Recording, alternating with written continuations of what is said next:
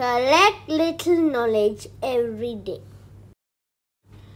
Why does the lammergeier drop its dinner?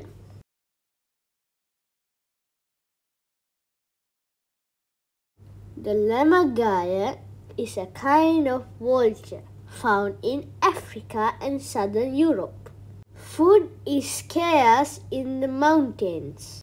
So, the lammergeier has learned to feed on the toughest hide and bones in a carcass. Too tough for other animals.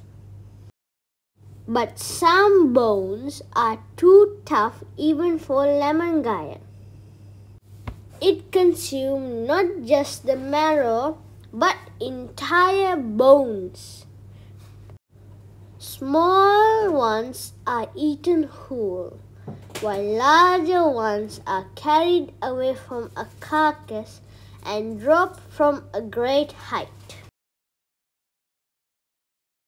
So it drops the bones again and again from a great height onto its own chosen rock until the bone smashes and the bird can get at the soft marrow inside. Little knowledge, but it's okay.